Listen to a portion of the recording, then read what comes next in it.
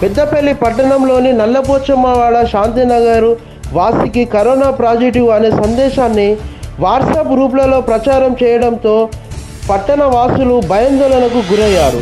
ఈ నేపథ్యంలో DCP P. Ravinder విలేకరుల సమావేశం ఏర్పాటు చేసి మాట్లాడుతూ సామాజిక మధ్యమైకంలో అసంతృప్తి సందేశాలు ప్రచారం చేస్తే కఠిన చర్యలు తీసుకుంటామని హెచ్చరించారు.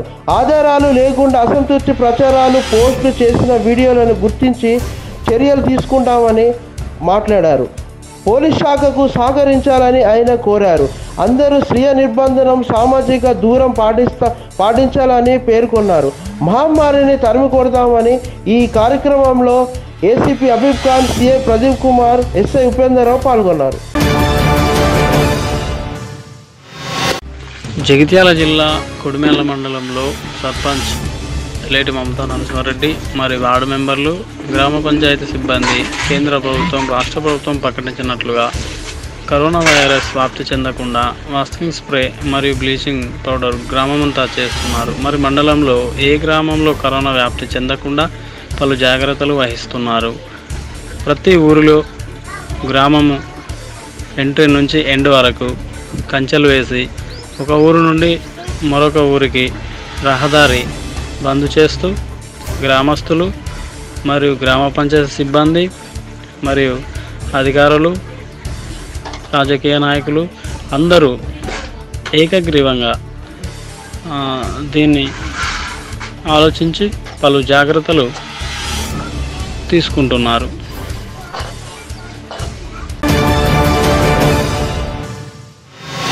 టోల్గేట్ ఫీజు ఎత్తివేత. దేశవ్యాప్తంగా లాక్డౌన్ అమలవుతున్న నేపథ్యంలో టోల్గేట్ ఫీజును ఎత్తివేస్తూ కేంద్రం నిర్ణయం తీసుకుంది. ప్రస్తుతం టోల్గేట్ల గుండా చాలా వరకు అత్యవసర సేవలు అందించే వాహనాలు తిరుగుతుండడంతో ఈ నిర్ణయం తీసుకున్నట్లు కేంద్ర మంత్రి నితీష్ గడ్కరీ వెల్లడించారు.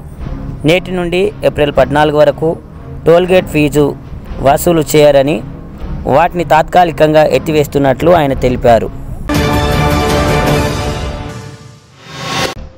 వైద్యులను వేధించడం సరికాదు.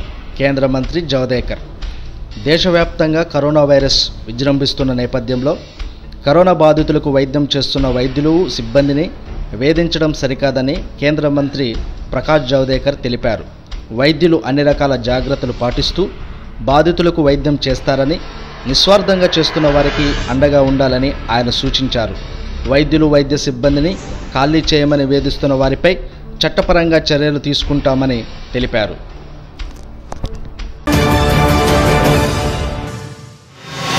హైదరాబాద్లోని హాస్టల్లో ఉంటున్న వారెవరూ భయపడాల్సిన అవసరం లేదని తెలంగాణ మంత్రి కేటీఆర్ ట్విట్టర్ ద్వారా వెల్లడించారు. హాస్టల్ నిర్వాహకులు భయపడి ఎవరిని ఖాళీ చేయించవద్దని హాస్టల్స్లో ఉంటున్న వారికి ఎలాంటి ఇబ్బందులు కలగకుండా అన్ని సౌకర్యాలు కల్పించే చర్యలు చేపట్టాలని జిహెచ్ఎంసీ కమిషనర్ మరియు హైదరాబాద్ సిపిలను కోరినట్లు ఆయన వెల్లడించారు.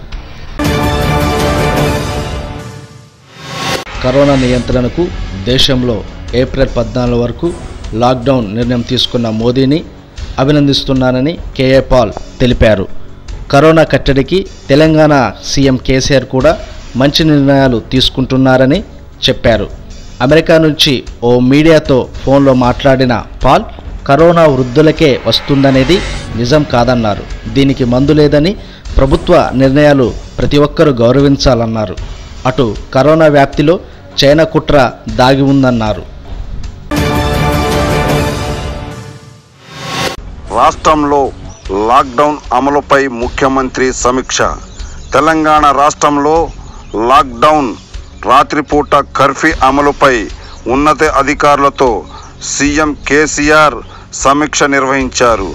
వైద్య ఆరోగ్య శాఖ మంత్రి సిఎస్ డీజీపీ సహా ఉన్నత అధికారులు పాల్గొన్నారు. రాష్ట్రంలో లాక్డౌన్ విజయవంతం అవుతుందని ప్రజలు ఇళ్ళ నుంచి బయటకు రావడానికి ఇష్టపడటం లేదని విషయం తెలుస్తుందన్నారు. వ్యాధి లక్షణాలు కనిపిస్తే వెంటనే హాస్పిటల్కు వెళ్ళాలని అదేవిధంగా వన్ నాట్ సేవలు ఉపయోగించుకోవాలని మరోసారి ప్రజలకు సీఎం సూచించారు. దేశవ్యాప్తంగా లాక్డౌన్ నేపథ్యంలో ఇళ్ళ వద్దే కూరగాయలు కొనే సదుపాయాన్ని తెలంగాణ ప్రభుత్వం కల్పిస్తోంది. నేటి నుండి సంచార రైతు బజార్ల ద్వారా కూరగాయలను అందుబాటులోకి తేనుండగా త్వరలోనే పాలతో సహా నిత్యావసరాలను వీటి ద్వారా అందించనుంది. ఇందుకు పలు నగరాలు పట్టణాల్లో మార్కెటింగ్ శాఖ ఏర్పాట్లు పూర్తి చేసింది. కూరగాయలు నిత్యావసరాలకై ప్రజలు రోడ్లెక్కుతుండటంతో తెలంగాణతో పాటు ఏపీ ప్రభుత్వం ఈ నిర్ణయం తీసుకుంది. కరోనా అడ్డుకునేందుకు దేశం మొత్తం యుద్ధం చేస్తుందని మోడీ అన్నారు. మహాభారతం యుద్ధంలో అధర్మంపై ధర్మం కోసం పద్దెనిమిది రోజులు యుద్ధం చేసి విజయం సాధించగా కరోనాపై ఇరవై ఒక్క రోజులు యుద్ధం చేసి గెలవాలన్నారు. మహమ్మారి నుంచి బయ బయటపడేందుకు సోషల్ డిస్పెన్సీ ఒక్కటే మార్గమని అన్నారు. కాగా దేశం వ్యాప్తంగా కరోనా కేసులు సంఖ్య పెరుగుతుండే ఉండడం ఆందోళన కలిగిస్తుందని అన్నారు. కరోనా కట్టడికి రాష్ట్ర ప్రభుత్వం చేపడుతున్న చర్యలకు మద్దతుగా టీఆర్ఎస్ నేతలు నిలిచారు. ఆ పార్టీకి చెందిన ఎంపీలు ఎమ్మెల్సీలు ఎమ్మెల్యేలు తమ నెల జీతంతో పాటు ఒక ఏడాది నియోజకవర్గ అభివృద్ధి నిధులు సీఎం రిలీఫ్ ఫండ్ ఇవ్వనున్నట్లు ప్రకటించారు. ఇటు ఎంపీలు తమ మరో నెల జీతాన్ని సీఎం రిలీఫ్ ఫండ్ ఇవ్వనున్నట్లు తెలిపారు. ఆంధ్రప్రదేశ్ తెలంగాణ రాష్ట్ర సరిహద్దు ప్రాంతమైన గరికెపాడు చెక్పోస్టు వద్ద నెలకొన్న పరిస్థితిపై టీఆర్ఎస్ మంత్రి కేటీఆర్ స్పందించారు. ఏపీ సీఎం జగన్తో సీఎం కేసీఆర్ మాట్లాడారని వీలైనంత త్వరగా సమస్య పరిష్కారం అవుతుందన్నారు.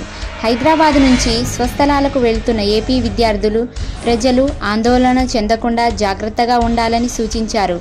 ఇటు గరికెపాడు సమస్యలను పరిష్కరించాలని సీఎం జగన్ను ఆంధ్రప్రదేశ్ టీడీపీ నేత లోకేష్ కోరారు.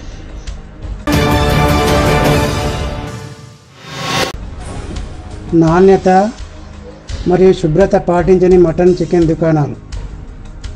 గద్ జోగులాంబ గద్వాల జిల్లా కేంద్రంలో గద్వాల పట్టణం నందు కరోనా వైరస్ వ్యాప్తి చెందకుండా పోలీస్ అధికారులు పోలీస్ ఉన్నతాధికారులు పోలీసులు ఆర్నికలు కృషి చేస్తున్న పట్టణ మాంస విక్రయదారులు గద్వాల పట్టణంలో నాణ్యత మరియు శుభ్రత పాటించవలసిన వ్యాపారస్తులు అవి పాటించకుండా నాణ్యత లేని చికెన్ మటన్లు విక్రయిస్తున్నారు. గద్వాలలో కొన్ని ఇళ్ళ వద్ద మార్కెట్లలో మున్సిపల్ అధికారులు ధృవీకరించిన మాంసం అమ్మాల్సి ఉండగా నిబంధనలు పాటించడం లేదని దీనిపై అధికారులు పర్యవేక్షణ చేయాలని ప్రజలు సూచిస్తున్నారు. మెదక్ జిల్లా టేక్మల మండలం టేక్మల గ్రామంలో ప్రభుత్వ ఆదేశాల మేరకు చౌకరదారుల దుకాణం ఇరవై ఒకటవ దుకాణం వద్ద డీలర్ శ్రీరామ మానస రాజేశ్వర్ ఆధ్వర్యంలో రేషన్ బియ్యం ఒకరికి పన్నెండు కిలో చొప్పున ఇవ్వడం జరిగింది. తహసీల్దార్ రేసిబాయ్ ఆర్ఐ నాగరాజు ప్రజలతో మాట్లాడుతూ మనం అందరం సామాజిక దూరం పాటించాలని ప్రతి ఒక్కరూ స్వీయ నిర్బంధన పాటించాలని ప్రజలు ఎవరు బయటకు రావద్దని కోరారు. మన ప్రభుత్వాల సూచనకు ఆదేశాలు ప్రతి ఒక్కరూ పాటించాలని ప్రజలకు కోరారు. ఈ కార్యక్రమంలో శ్రీరామ్ మల్లేశం సర్పంచ్ ప్రజా భాస్కర్ షాదుల్ సలావుద్దీన్ అశోక్ సీను గ్రామ ప్రజలు పాల్గొన్నారు. బీసీసీఐ చీఫ్ సౌరవ్ గంగూలీ పెద్ద మనసు చాటాడు కరోనా కారణంగా ప్రభావితమైన పేదలను ఆదుకునేందుకు ముందుకు వచ్చాడు కోల్కతా నగరంలో ప్రభుత్వ పాఠశాలలో తలదాచుకుంటున్న నిరుపేదల నిత్యావసరాల కోసం యాభై లక్షల విలువైన బియ్యాన్ని ఇవ్వనున్నట్లు ప్రకటించాడు. దాదా కోల్కతా నగర ప్రజల్లో గంగూలీ ఆదర్శంగా నిలిచాడు. క్రికెట్ అసోసియేషన్ ప్రశంసలు కురిపించింది.